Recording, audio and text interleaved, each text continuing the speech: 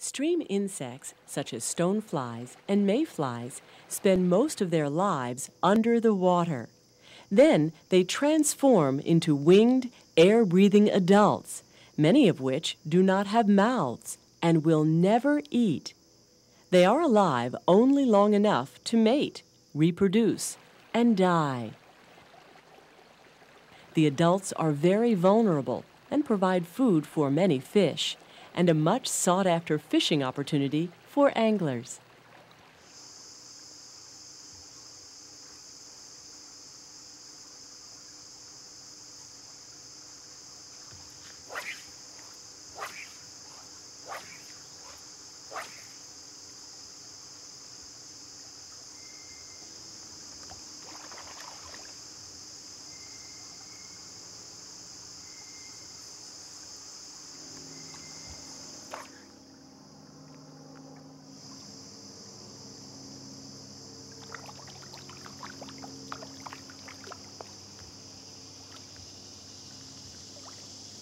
Brook trout are a favorite catch for anglers of mountain streams.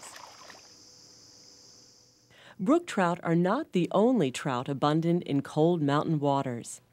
Other non native species of trout are stocked to provide fishing opportunities. These other trout are desirable to fishermen because they are typically larger than the native brook trout. The same traits that make non native brown trout desirable to anglers make them a threat to native brook trout. Brown trout are large and aggressive. They often outcompete brook trout for food and living space, especially in water that has become polluted.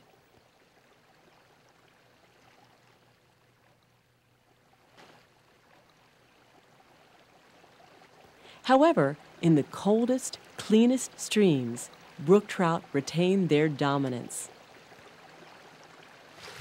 Although brown trout may threaten brook trout survival, there is a much deadlier threat which imperils all inhabitants of these mountain streams acid.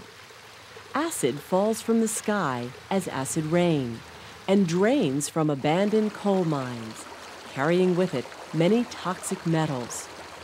In these cases, the streams are essentially devoid of life.